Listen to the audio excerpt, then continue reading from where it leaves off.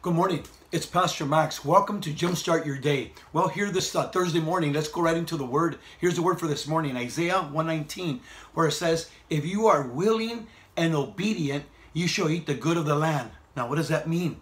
What that simply means is this. If we're willing to hear the word of God and put it to practice, then we shall get blessed with all the benefits that God provides for us.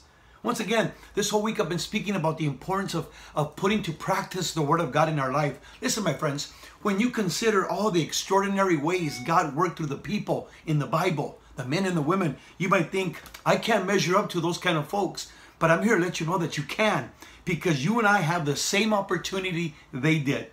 And that is to simply say yes and obey the Word of God in our life. Amen, somebody?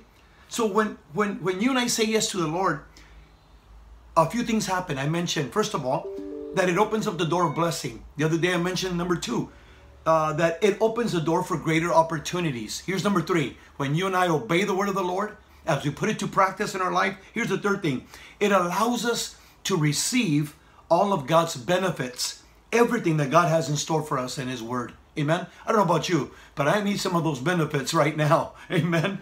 So listen, my friends. So as we jumpstart our day, let's learn to obey and put to practice the Word of God in our life. Please hit the like button on this uh, uh, Facebook, or if you're following us on on YouTube, uh, hit the subscribe button, or if you're following on Instagram, let's share it with a friend.